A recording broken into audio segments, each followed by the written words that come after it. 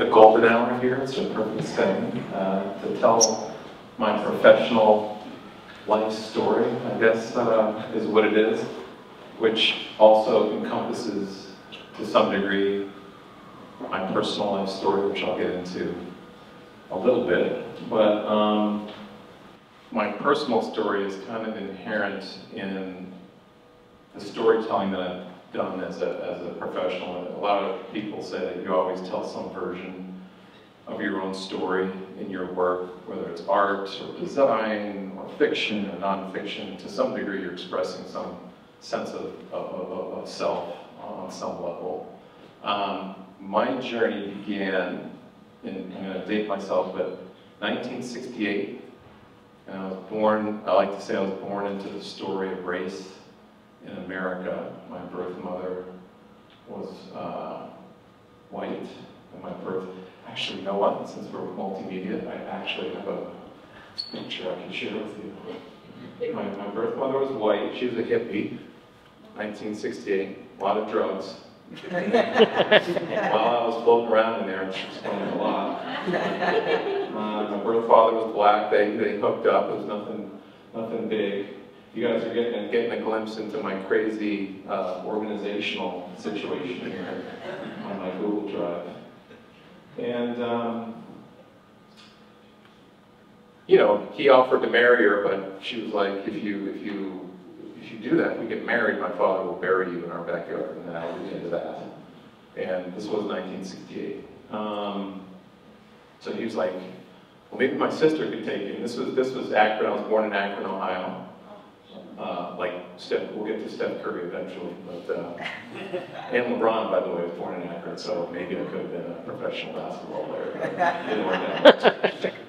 But, uh, she, he was, he was like, John, on second thought, maybe my sister's not the right person to kind of, kind of raise, raise, you know, our child. Uh, so they made the difficult decision to put, you know, for adoption. And, uh, So if you see this, this picture, this is my family. It's my birth mother's family. Very conservative family. This is my, uh, I guess my grand, my grandfather here, grandfather. Um, not saying they were the, the Ku Klux Klan or anything like that, but um, you know they were a very conservative white family in Ohio. And this is this is my birth mother right here, Susan Harris, and you can see maybe that little bump there. That's me. Floating around there. I had no idea what was happening. Um, and for, uh, let's see, that was in 1968, and I didn't find my birth mother until I was making the second film in my trilogy, The Force, in, in, in 2014. But I'm going to get to that, that story later. But she put me up for adoption. It was a really difficult decision.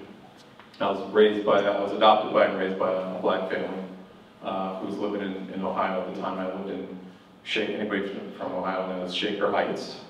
So I lived in Shaker for about a year, year and a half, and then um, my mom, who, my adopted mom, is from um, Boston via Cape Verde. So her parents came over for, uh, from Cape Verde Islands uh, when they were in their early 20s, and, and um, my father was from South, South Carolina, but they sort of migrated to, to sort of Philadelphia. So we were an East, East Coast family. So I was raised in, a black church, you know, big family. Mom's one of 10, dad's one of eight, cousins for miles. A lot of them went to HBCUs. I basically went to white private schools, um, but was raised in the black church and had this family. And so I, I had this mixed race kid raised in a black family, all kinds of identity issues on top of being you know, adopted, and so decided I was going to go to Howard to get in touch with what it was it mean to be a black man in America. So, um, so I went to Howard, and first thing I did was buy a six pack of beer, and uh, I had no idea what Howard was. I, I, I understood like, oh, it's an HBCU, may, may not even have understood that, uh, that term at the, at the point. People would say, where do you go to, where are you going to college? I'd say Howard. They'd say Harvard. I said, no, Howard, Howard. And uh, no idea. no, no idea that, that, that they had cinema program, some, some of the greats in cinema went, went there, the great Haile Gerima, and and eventually Bradford Young went, went through that, their cinema program. Um, Spike Lee's director of photography went through the cinema program. Um, I, I was just like, the drinking age was 18. I was like, hell yeah, let's go. And that's what I did for the next couple years. Um, eventually dropped out. Um, went to work at the Fifth Pen. Anybody from DC from back in the day? Or, or know the, the club scene from the 80s? Like the tunnel in New York? Okay, maybe I can see a couple of nods. This was the late 80s, okay? There's a lot of club kids, drugs, is the height of the war on drugs in, in DC. We're talking Mayor Marion Barry got busted smoking crack with a prostitute that we call Mayor for Life Barry. Um, Edmonds was running a giant drug ring in DC with the Nation of Islam guarding apartment buildings. So I was in all that. You know, I dropped out of school. I was working at the Fifth Column, which was across the street from the 930 Club, which was uh, sort of a punk, punk uh, club in DC. And just kind of like, you know, spiraled and, you know, got, got addicted to, to cocaine. Uh, cocaine actually calm, calms me down. It's kind of like they give kids Ritalin. I loved cocaine when I first started. I was like, oh, this is what I need, you know, to sort of like focus. and it, but I didn't understand that, you know, it was also going to like drain my bank account, prevent me from paying rent. And so at that point, um, I was hanging out with these like four guys. Uh, Jock, who went to St. Albans, which is a prep school in DC. There's like Sidwell Friends, St. Albans. This is where like Obama sent his kids, okay? This is like where heads of state, titans of industry, and presidents send their children. So Jock went there. I met him through a friend, and uh, he had like a couple of Toyota Supras, a Siberian Husky, a condo. I mean, we're like we're like 19, 20 years old. And I was like, what? How, how does he, what does this guy do? He's like, oh, he sells. Amway?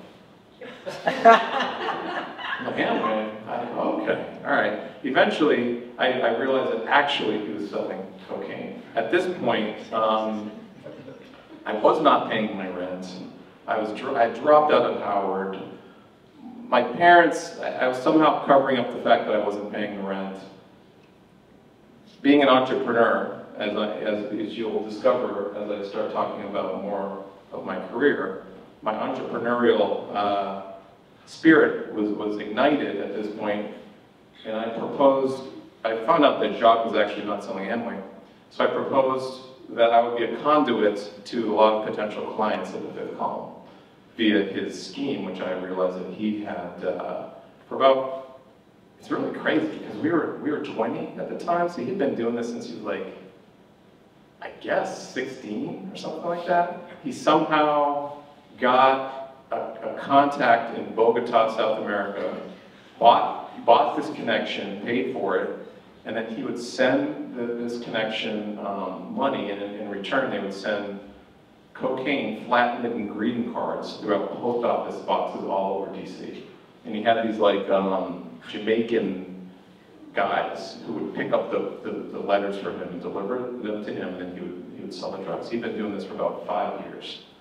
And so I was like, um, yeah, like let's start like a, let's start a subsidiary, subsidiary of this operation at the fifth column, and I'll, I will, I will generate more revenue for this, this operation. And, and he was like, okay, great idea, let's do it. Literally uh, three months later, uh, and the, the, drugs would come regularly in the, in the U.S. mail. And um, they had stopped coming the drugs, which I did not like because I wasn't really in this thing to make money. I was in this thing to stay like high. That was my, my main sort of goal. And when the drugs stopped, it was not, it was like, where are the drugs? And he was like, I'm not sure. Sometimes like the, the, the, the flow gets off or the schedule gets off. You just have to be patient and wait. And, and then one day out of nowhere, he's like, oh, we're, we're on again. We, we got a new shipment but can you go pick, pick them up? And I had never actually been to the post office. The Jamaicans are supposed to do that. I had never done it myself. And so he was like, no, no, no, you, you, you need to go, here's the keys. I gotta go, my car got stolen from King's Dominion, which is a, a theme park in, in, in DC.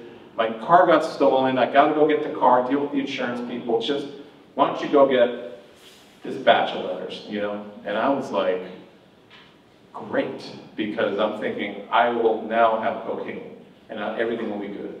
So I go, I uh, got the keys, went to the post office box, which I believe was near this, the border of Silver Spring, Maryland, and I'll never forget that day.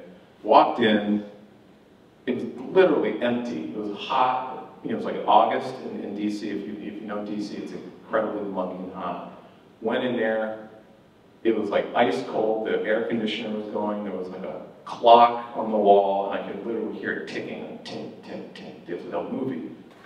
And uh, Except I didn't realize like I was actually in the movie and something bad was about to happen. Mm-hmm. and, I, and I remember opening the door of the post office. These are like old school post office boxes, like giant wall post office boxes. And I opened the door and I saw the letters and there was like six or seven of them. And then at the back of the, the, the post office box, I saw a little slip of paper just kind of hanging there. And I, I remember thinking, that's strange. And why is that little piece of paper hanging there? Yeah, it's fine. Grabbed the letters, put them in my backpack, walked out of the post office box, post office, and heard like guns being like chambered and you know down on the ground and in the sort of area outside the post office were probably 20 to 30 federal agencies like DEA, postal inspector, etc. And so that was the end of that, and I was arrested. Now, that began, um, you know, I would say that was 89. That was the summer of 89. This is the peak of the war on drugs. It began a pretty tumultuous, about a four-year period where it could have gone either way for me. So there was prison, which it took about a year to get for me to get sentenced and eventually report. And because it, it was a, there was no, there were no guns involved um, I had no prior conviction, I was able to self-report to the prison. Um, that took about a year. Then I, I did a year, got out. Um, and, you know, generally think, you know, that will be the wake-up call. You, you, hear people talk about hitting bottom, you know, with sort of drug, drug addiction and whatnot. But for me, um, that actually had the reverse effect because I, yeah, I think in my mind, like my life's over now. I've got a record, how am I going to finish college, how am I going to get a job? And so I just sort of like checked out and I just actually uh, moved on from powder cocaine, cocaine and graduated to crack cocaine. So now, now I was like actually an official crack addict with the, with the criminal conviction on probation, tumbling in, in Washington, D.C., and this was like 91, 90, 92. Um, and I, I, you know, to this day, I can't exactly explain to you why I was able to stop that. And, and my first film, which I'm about to show you a clip of, gets into it a little bit, but I just stopped one night. It was December 6, 1993. They, there's something about like when you turn 25, your frontal lobe is fully developed. I, I was literally 25 years old at this, at this time. And um, I just decided to stop. And about 10 months later, you know, going through rehab and NA meetings and AA and all that stuff, met, met uh, not in NA, but met a, young woman uh, around that time who later became my wife. And that moment really started sort of getting me oriented toward, um, you know, building my life, life back. And at that time, that's when I decided to go back to, to Howard, and that was in 95 and I had to petition to get back in because my GPA was like 1.3. It was a miracle that it was even 1.3, to be, honest. But I, I had to petition, get back in, and um, you know, was able to finish up my degree over those next uh, couple years. I was a creative writing major because at that time I was like, you know, I'm gonna, I'm gonna write. I'm gonna, I'm gonna be a fiction writer. I'm gonna take my, my life experience and I'm gonna turn it into something that is meaningful to people. And I was really focused on the creative writing, started writing about my family and about my own life experience. And then uh, I had to take a minor, and so I just picked journalism for some random reason. And then I had to do a project uh, for one of my journalism classes. And while I was in uh, AA, I met this guy named Joe, who was an intern at this little tiny news service called the Hispanic Link in DC. And it was run by this white guy named Charlie Erickson and his wife, who, who was from Oaxaca, Mexico. And It was like a love story. And because uh, the mainstream media wasn't really covering the Hispanic community in the news, like this little tiny hole in the wall became syndicated all around the country. And so I got this idea of making a little documentary. So I made this doc and I went out and rented a SVHS camera. SVHS, anybody remember that? Yes. Uh, this was right around the time when nonlinear editing was coming in, so I found this thing called Media 100, which is one of the first nonlinear editing systems. Rented these hot, like tungsten lights, and made this film, and just fell in love with the whole thing, like process of figuring it out, like the technical aspects of it, shooting it, um, the aspect of producing the thing, the story, and started thinking, oh, how do you do this like as a career? And, and, started researching and found that uh, a few places specialized in doc, documentary filmmaking. Northwestern was one of them, Medill, um, Berkeley was another, and, and, NYU. And then I, I heard about this guy, Jon Else, who had just taken over. He had previously been at Stanford, but he moved over to uh, Berkeley to run the doc program, and he was a producer on Eyes on the Prize, which is a seminal civil rights series that was on PBS. And, um, and he also made this incredible film called The Day After Trinity, which is about Robert Oppenheimer. So I was like, that's where I want to go. Applied, and by some miracle, because my GPA at this point, I got it up to about 2.6. Um, but I, you know, I, I pretty much got straight A's after I came back. And I didn't write in my essay about my story, but I just noted, I just said, you know, just so you know, I've been in crime, you know, an ex-convict, I committed this crime, did, did, this time in federal prison, but I didn't write about it, um, and they let me in. I think they saw this like change, they saw sort of the before and the after, and they were really intrigued by that, so they, uh, they decided to, uh, to give me a shot. So that, that really kind of began my journey as a professional storyteller, and it started with you know studying under the great Jon Else, who's a, a, a remarkable um, talent. And um, after I graduated, my first job was working for PBS Frontline, which just won the Oscar for 20 Days in Mariupol. And big shout out to PBS. We, we need to keep supporting our public television public broadcasting. Um, and um, they were doing a, a series on the war on drugs. Um, and so I was like, hey, I've got a lot of expertise in that. I applied for it, got the job as an associate producer. Um, did that, and then while I was working on that, Jon Else was trying to get this concept off the ground. He, he had been nominated for an Oscar for Day After Trinity, and then he um, made this film called Sing Faster, which is about um, La. It's about um, La from the perspective of the stagehands who put together the opera the San Francisco Opera. And, and, and so he had to write, despite being a remarkably accomplished filmmaker, Oscar-nominated filmmaker, he had to write about 140 funding applications to get that film funded and made. And so he was like, this, we should not be doing this, we need to support artists um, and he was also a MacArthur Genius grantee, which is basically an unrestricted grant given to artists. And so he started this little documentary center around the premise of let's fund artists and not proposals. And we're going to give you an amount of money. You can do whatever you want with the money, but you can only spend that money. You can't raise any more money. That was the premise. And he asked, I was trying to, I was helping him kind of administer the program, and then he, one day he said, Pete, would you like to be our inaugural filmmaker? And I said, absolutely, you know. And so I got $100,000, this is in 2000, right at the turn of the millennium, to do anything I wanted. And I decided I wanted to explore the impact that my addiction and incarceration had on my family, which had never been talked about. And um, it's particularly sort of addiction and alcoholism in black families in America is something that's typically swept under the carpet. And so that's what I did. Um, so I'm going to start showing you some like little clips uh, from, from my work and going through um, the arc of my career, but this is technically my, my first, first film.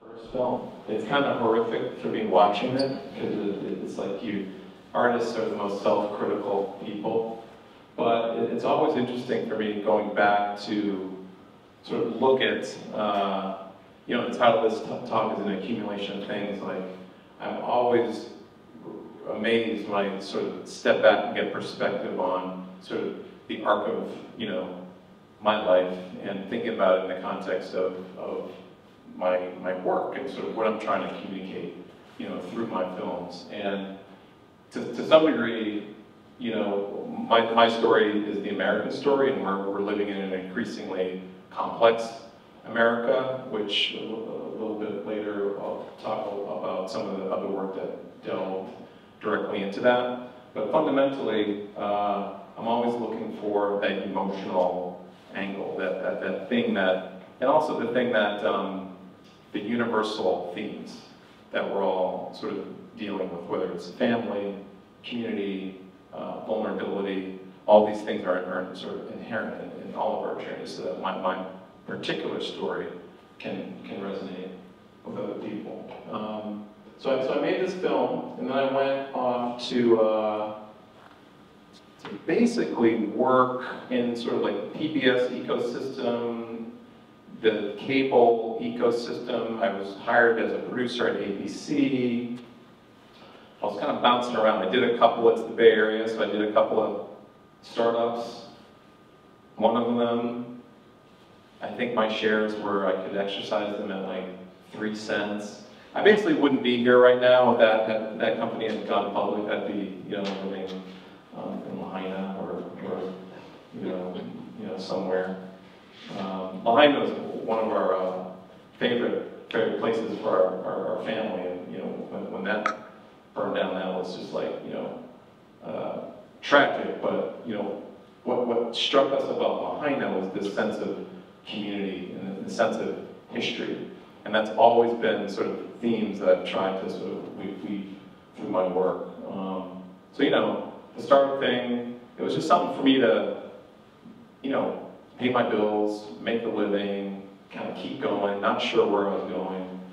And um, my wife worked at, uh, works at Highland Hospital, and we, we both came, out of graduate school around the same time, and she's a refugee from, from Laos. And she has this deep connection with her patients, many of whom are uninsured. And at the time, around 2000, uh, 2006, 2007, there was this really animated national conversation on healthcare. And I, I, I, was thinking that it would be amazing to make a film about this community and how they were sort of using this hospital to, you know, as their basically as their primary care physician. Um, and the waiting room was born, and we got access to the hospital. It didn't. It started um, not as a film, and I, you know, I had to also as an independent raise awareness, raise money. And so what we kind of stumbled onto was that people were stuck in the waiting room for hours and hours and hours. And so we did this uh, storytelling project. We hadn't quite figured out what the film was going to be yet, but we just started interviewing hundreds of people who were stuck in this waiting room and about some pretty private things and in this open air space and we didn't know if people would want to share their stories in this way. And we quickly, quickly realized that they had a deep need to, to do that. And I think the reason why is because they, they needed to, their, their humanity reflected, because I don't think they saw themselves in this sort of national conversation that was happening around sort of access to healthcare. So we just started interviewing like all these people, and it was, it was quite remarkable. Um, it was kind of early, it was before Humans of New York, I don't know if you've heard of Humans in New York, it was kind of like that. And then we, we were like, oh, let's put this in, in um, let's do a storytelling booth and put this in waiting rooms all over the country. And it could be both a way to get a view into what people are experiencing, navigating life without health insurance, but it could also be a therapeutic tool for people in, in hospitals. And we partner, we were to partner with IDEO on it. It was going to be this like big thing. And what ended up happening is that the storytelling project sparked an interest over at ITVS, which is uh, one of the funders of a lot of public television documentaries that you see on PBS. And we actually got through the process of what's called open call, which is a funding um, application process for documentaries. And we were accepted. And so we had to quickly pivot away from the storytelling project to go to go make the movie. Um, and so the storytelling project, it, it never kind of scaled out the way we hoped, but it did it did enable us to go and, and, and make the movie. So that's the uh, waiting room. Was, it, it, I mean, it, it, was just like uh, very special project, and it, it was a tiny movie, and it, it uh, we sensed some sort of groundswell with it, so we, we like we like did a, a Kickstarter uh, campaign. We raised about 80 grand to put the movie in theaters because in order to qualify for the Oscars, you have to be in, in theaters, and it, was able to do um, uh, a run and uh, I think we actually have somebody from the Grand Lake Theater tonight. Where's, where's, where's, oh, there she. And um, it, it just did gangbusters at the Grand Lake, and people came out in huge numbers, and it qualified for the Oscars, and eventually got shortlisted for an Academy Award. So it was really special, special project, and um, obviously Rob and, and Mucho did, did the, the graphic work for the, for the project, which is really incredible. And I love so much like this, this idea of the clock and going around the clock, one community, 24 hours, three hugs, four traumas. Um, you know, no beds, the 11th hour, the waiting room. You know, it's just a really organic, beautiful design. And um, we were able to sort of utilize that throughout sort of the, the, the campaign uh, of the film. And it also sort of set the foundation for what became a trilogy of, of, of movies. And so, um, you know, we were wrapped up in the release of the film for, you know, a year, year and, year and a half, and then I started thinking about, I always knew that I wanted to look at the connections um, in a community and sort of what gave it agency, and a huge fan of The Wire, huge fan of Frederick Wiseman's work. Frederick Wiseman is a uh, documentarian from Boston who does like observational portraits of institutions. The guy's like 100 years old, he's still going, it's crazy. He did a film called At Berkeley, um, here, here the Bay Area. Um, I always knew I wanted to look at the connections between access to healthcare, the criminal justice system, and education. And around this time, after the waiting room came out, you know, everything was starting to bubble. Like, I, I met actually um, my business partner, Ryan Coogler, on the waiting room because he, he was making a film called Fruitvale Station, um, Oscar Grant um, was born and later died at Highland Hospital. And Ryan was trying to shoot scenes for his movie Fruitvale Station and, and, couldn't get access. And somebody was like, you need to talk to Pete Nicks. So we met and I, I got him into the hospital and we, we, we, we stayed in touch. Um, and obviously he went off to, to make Creed and, and, uh, Black Panther and I, I, kept going with my work, um, you know, in Oakland and was noticing what was going on with uh, you know, the rise of Black Lives Matter and all that. And, you know, somewhere heard that the OPD at that time was a model for reform in the nation. Um, they were under federal oversight because of a huge civil rights uh, um, case in 2000, the Riders case, where they were abusing the, the, the, civil rights of people in Oakland. And so they were under federal watch, but they were making all kinds of progress reforming the department and, had become a model for reform. So I basically approached him and said, um, you know, I'd like, I'd like to tell that story. I'd like to get access um, to your department to make a documentary. And because the waiting room had sort of done so well, they kind of roughly knew who I was and and gave me access. And I told them, I said, um, you know, I'm not, I'm not, you know, here to make a commercial about your success. I'm here to sort of tell the truth as I see it. And that's that's the only catch here is that whatever happens, happens, and that's going to be what the movie is. And they they agreed to do it. And um, for some time, things were going well. And then they were not.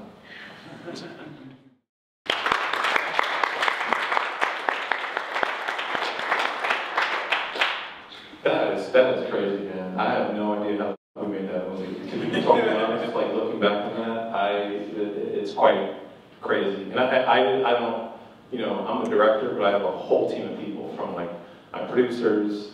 Um, I shoot my own films, but I have people who, who shoot B camera. We have associate producers, interns, um, funders, uh, stakeholders, and then you, of course, have the um, subject, so to speak, which, which in this case was the Oakland Police Department, who, to their credit, allowed me to continue filming after things went south and sort of, sort of the shit hit the fan. And, and that, that's a testament, you know, to their uh, willingness to accept, you know, the reality of, of, of that narrative. And so, um, you know, we made that film um, into, you know, won the Sundance Director's Prize, um, did some great things. I think really sort of captured a zeitgeist moment and sort of conversation in America, and that's the power of what documentary can do, is it allows you, allows the audience into places that you would typically not be able to get access to, and I think that's integral,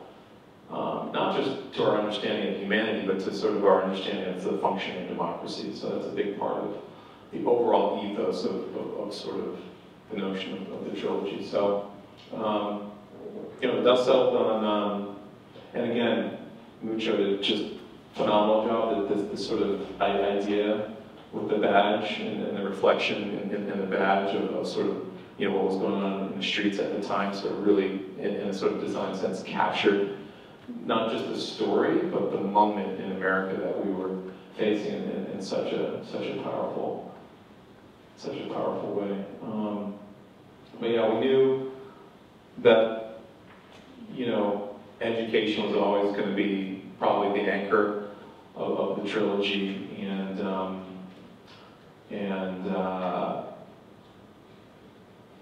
found our way to Oakland High School. Um, started developing the project in 20, you know, um, 18-ish, um, and then it really kind of kind of kicked into, into gear in, in 2019, and then we decided, you know, basically um, that we were going to tell the story of, of the class of 2020. Uh, little, little did we know, and is a characteristic of, of, of all my thing, all, all my films of crazy, unpredictable shit just happening that defines the movie.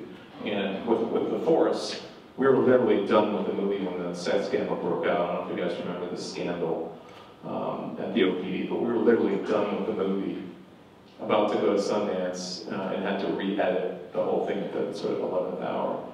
Um, and I think this, this movie might, might have sort of, sort of topped it. But the notion of the film was to explore the emotional lives of young people uh, in America. And I grew up with films like um, Dating Myself Again to see what's happening. Breakfast Club. okay, Pretty Pink, Ferris yeah. Bueller, all that. Great movies, love them all, but they're all from the perspective of white suburban kids. Any kids of color who show up in these movies are like long dum dum you know, things and things. So I was interested in the emotional lives of, of kids that look, look, look, look, like my kids, you know, kids of color, kids in a diverse, diverse city like Oakland. What's their emotional life like, and what's, what are they going through?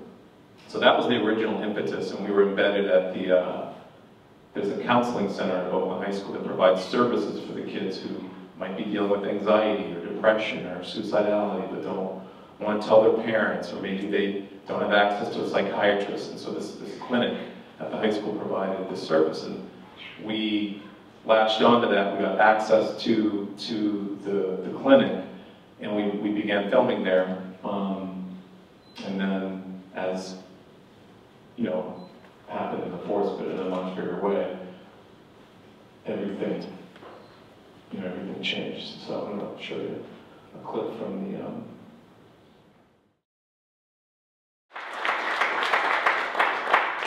Uh, so, so know, obviously, seismic events occurred, and you know, as a documentarian, you have to sort of, you know, be ready to sort of shift, make adjustments, and, and, and follow that. And that's what we had to do with this this uh, this story. Coincidentally, one of the kids we had picked early on was sitting on the school board, and they were. Um, he was one of two student representatives of the entire school board, and one of the initiatives that they had, and we didn't see it until later when we were going through all the footage, but they had this little initiative going where they were trying to reallocate they were basically trying to close down the school police, which had like a three or four million dollar budget and reallocate all that money to mental health services for the kids. And that, and then COVID hit, and so we sort of shifted the narrative to these to these kids who were trying to, who had tried to get this uh, initiative passed. The school board had voted it down previously, and then in the wake of everything that happened, it wasn't just COVID, it was, you know, Ahmaud Arbery and uh, Breonna Taylor and George Floyd, all of those things kind of happened, boom, boom, boom, boom, and then COVID, and then that, that led to um, the pairing their initiative plus this moment, and, and the thing was passed and settled, that, that became the movie. So it's really, I mean, extraordinary that we sort of, that we sort of captured it. Um, it's serendipitous in, in a lot of ways, and in, in a lot of ways, as documentary filmmakers, we our, our, our job is to try to capture it and, and render it for, for an audience, but to, to some degree it was just mostly a function of this remark, these remarkable things that kind of happened. Coincidentally, along this, this, this time, um, I, you know, Ryan had approached me to sort of start this company, um, Proximity, and um, Homeroom became kind of our first film but Ryan, um, you know, wanted to make an impact. I mean, what he did, what, what he was able to do with Creed and, and, and, Black Panther kind of showed the power of perspective and how we have, you know, been limiting ourselves. Um, you know, the Oscars So White movement has, has sort of been out there reminding us that, hey, we need to give opportunities to all kinds of different storytellers and not just, you know, white male storytellers or you know, what if we gave a camera to a Native American? You know, have you seen Reservation Dogs, the show Reservation Dogs? Like, what if we reimagine Rocky from the perspective of this young kid from, from Oakland, you know? And I think Ryan, you know, showed the power of that. And I think Black Panther showed the power of this, this bigger idea in the Marvel Cinematic Universe, no less, of sort of colonization and Afrofuturism and prior to that, the general um, narrative in Hollywood is you cannot sell movies with, with black actors overseas. And that was basically a rule for a long, long time. That affected how you cast your movie. It affected who was writing the movies, who was directing and producing the movies, and so Ryan shattered all that. And that gave way to these opportunities. Um, and Disney, Bob Iger at Disney, chairman of Disney, approached Ryan um, and we have a, a, TV deal with Disney.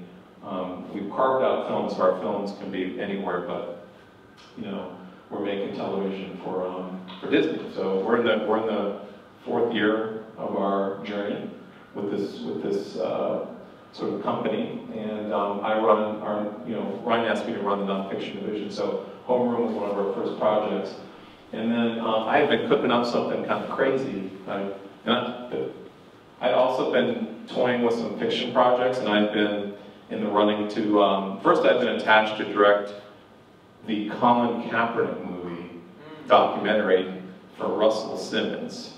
I was literally over Russell's an interesting dude, okay? I was like, look at his house. There were these like two women, I was like, who are these women? Like, why are they in the One of them looked kind of like just spaced out. And, and then after the meeting, it got a little contentious. We argued a little bit. I think Russell liked that. And he was like, I like you. He's like, we're going to, you want to do some yoga? And I was like, Russell, I don't have any like yoga here. And he's like, no, I got you. I got you. We get you suited up. And I was like, no, actually, I have a meeting. I have to get to the meeting. But it was really nice to meet you, and we'll, we'll get into the deal. And I'm excited to be working on this project with you. Two weeks later, uh, he, he was Me Too.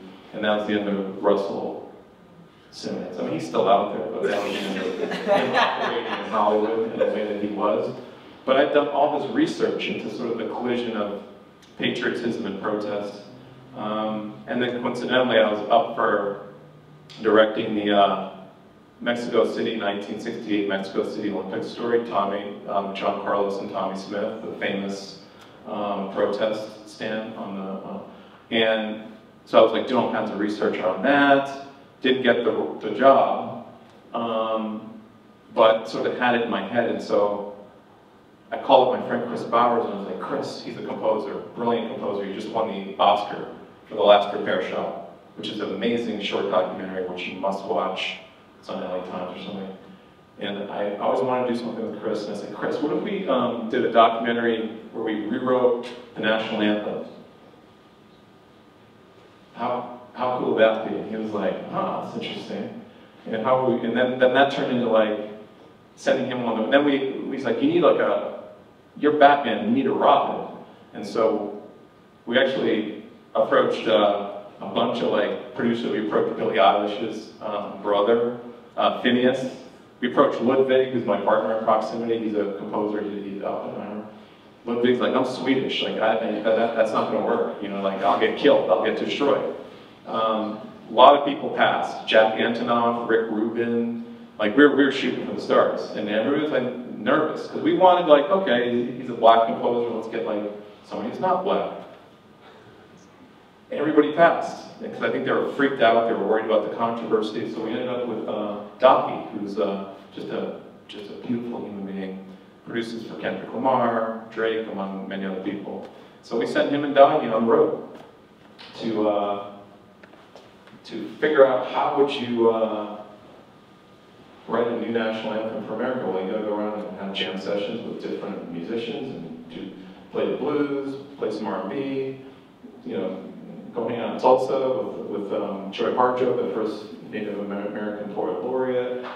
Um, go hang out in the Bay Area with, with La Nona, you know, and uh, we made this movie. Probably anybody's seen this movie. It, it, it, it is, um, it generates a lot of strong feelings, this movie. The New York Times called it naive, the, the, the reviewer, or reviews. It's just, it just destroyed me. Um, Letterboxd, the letterbox reviews. Just never, like if you're a filmmaker, just don't, don't, don't read the reviews. It's not healthy. Uh, but we knew, we knew we were taking a chance with this one. And I'm just a softie. And so like I, I, I do, uh, it's interesting, you know, because Jimi Hendrix performed the national anthem on the stage of Woodstock in, I think the year, was it year I was born, 68 or 69? And he played it, um, and he's in our movie, and Jimi. And he, he, his rendering of, of the national anthem was, was how he saw the country at that time, so there's a lot of static in here. Um, you know, that's not necessarily what we wanted to do, but we wanted to sort of have the conversation. We wanted to go on a journey. And that, that's what this movie is. And so um, it's there on Hulu if you want if you want to watch it. And I'm about to land the plane, and then we can answer any questions. Uh, and this movie sort of tied up a lot of the themes of my own life and career, and the diversity of our country, the diversity of me, the diversity of us, and sort of the messiness and the dialectic of all that, and, and the meaning of it in story. Um, but every, every documentary filmmaker that's got any kind of success in his career has got to do a celebrity documentary. Okay, it's a it's like a bucket list thing. Celebrity doc, which I vowed I would never do. Um, that maybe I didn't vow, but I never imagined that I would do this. But this this project came to us early on. It was like right after I started. Steph actually wanted Ryan to direct it, but he was directing small movie called Wakanda Forever, not available. However, you, you don't want me to direct it anymore, you want Pete to do it. He does documentaries, like, you want a documentary filming. So I met Steph, and um, he's like, we're the same height, he's like a mixed baby like me, he's born in Akron, it's perfect. And he's Bay Area, which means that the film is part of my, how do you say it? Oof. Oof. Oof. and so it made sense, so I did it. Yeah, that was the first question. Yeah, we're, we're trying to, we're actually trying to get a big uh, mental health series off the ground, uh, uh, just to sort of make sense of what's happening, I think, post-COVID. Um, you know, post-COVID, uh, numerous existential crises from the collapse of democracy to climate change to um, uh, wars around, around the world, um, to just the changing, you know, whatever, I mean, you know, technology, I, I think, is- I think is a part of it. So we're just trying to, uh, push against the limitations of the commercial marketplace and, um, do this important project. We've already gotten word from like the, the suits at Disney, like, is this entertaining, question mark? No, lit- lit- literally, that, that, that, that came down. And so we, we're, we're working now to try to, you know, get this thing, this thing pushed, push through. And we're, you know, we're doing other stuff too, it's like, some, we're doing another celebrity who shall not, shall not be named right, right here, but, but he is a singer. Is that an apple? Uh, no, no, we would take it to the market. Oh, cool. Um, we're doing, we're doing a bunch of other stuff, we're, we're, we've been following, um, Kim Rubio, who lost her daughter in Uvalde, she had her ten-year-old daughter in Uvalde, and she's now become quite a, uh, activist, I guess, uh, you know, um, and she's not really ready to grieve, and, and so we're sort of uh, telling the story of a, sort of a family, uh, dealing with the loss of their uh, child, but also sort of wrapped up in sort of, um, this idea uh, of gun control. So we got, we got kind of a spectrum of stuff that we're doing that's sort of very commercial and sort of social issue that, that is, uh, to some degree, a reflection of my sort of work that I did prior to joining the company. What's moving me, but what I tell film students all the time is like, when you embark on a project, make sure that you're passionate about it because you gotta sustain across what you describe, which is like sometimes two, three years, sometimes more, of ups and downs and bears and, and mountains and walls and shit falling apart, and you gotta be able to sustain through that and keep believing in it and get over those, get through those, those, those challenges. And I just, I don't know, sometimes you just know, sometimes you start to have second guesses and you doubt. Uh, uh, you know, I bounce stuff off of my wife, I bounce stuff off of my son, who says all documentaries are mid. Movies. So if I know if I pitch him something, it's a doc, and he's like, likes it, then I'm like, wow, I'm onto something.